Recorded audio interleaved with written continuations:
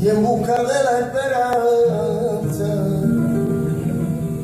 Y de poder besar tu lado calmar mi ser amado